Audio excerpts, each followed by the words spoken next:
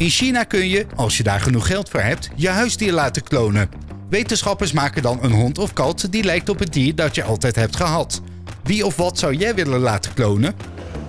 Ik vind klonen altijd een beetje eng. Hè. In China doen ze dat met hondjes. Ehm, JFK. En waarom? Ik denk dat we een JFK kunnen gebruiken in de wereld. John F. Kennedy. Yes. Niemand. Nee, dat is niets voor mij. En waarom niet? Nou, het is allemaal te kunstmatig. Dus dat is, eh, dat, dat is niks. Misschien ook uit eh, de, de tijd waar ik eh, ben opgegroeid. En eh, ja, dat speelt gewoon, eh, ja, spreekt gewoon tot mijn verbeelding. Ja, ik denk dat zij wel iemand is die op Poetin af zou stappen en zeggen van waar ben je mee bezig? Stop ermee. Zo, weet je wel. Ja. De liefde. Geen persoon, maar gewoon de liefde in het algemeen. Ja. Zoveel mogelijk.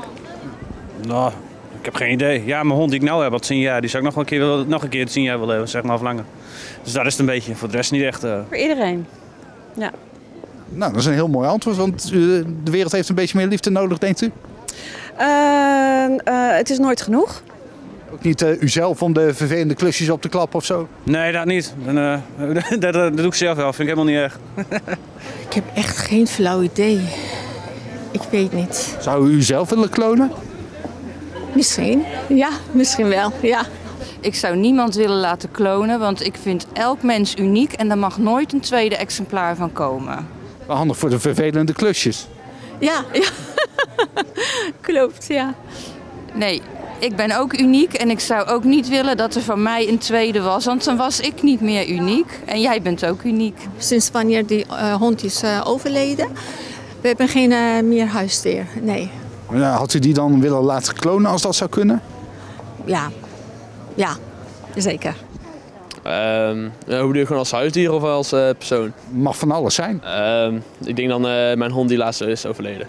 Helemaal niemand. Nee, absoluut niet. Nee, want het is ook maar net wat je erin stopt. Kijk, je kunt de hond wel laten klonen. Maar als je een hond niet goed opvoedt, dan heb je er nog niks aan. Dan krijg je een ander beest. Dus eh, ik zou er helemaal niks mee doen. Ik heb er ook helemaal niks mee. Ook geen uh, uzelf niet laten klonen en dan de andere versie alle vervelende klusjes laten doen? Nee, nee absoluut niet. Nou hoor, nee, dat zou ik nooit doen. Nee. Ja, het was mijn eigen hond voor uh, 12 jaar lang, dus ja, emo emotionele waarde was het wel, ja. Dus als dat zou kunnen en misschien geen 50.000 euro zou kosten, dan zou je dat wel willen doen? Ja.